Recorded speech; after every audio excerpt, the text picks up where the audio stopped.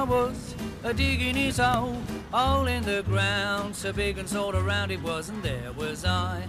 Digging it deep, it was flat at the bottom, and the sides were steep. Went along comes this bloke in a bowler, which he lifted and scratched his head. Whoa, he looked down the old, old demented soul, and he said, Do you mind if I make a suggestion?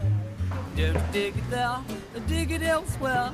You're digging it round and it ought to be square. The shape of it's wrong, it's much too long, and you can't put a hole where a hole don't belong. I ask, what a liberty, eh? Nearly bashed him right in the bowler.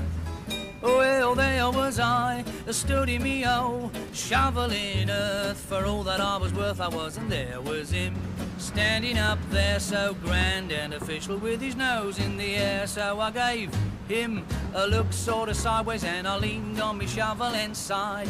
Whoa, I lit me a fag and having to go drag, I replied. I just couldn't bear to dig it elsewhere. I'm digging it around cause I don't want it square. And if you disagree, it doesn't bother me. That's the place where the hole's gonna be.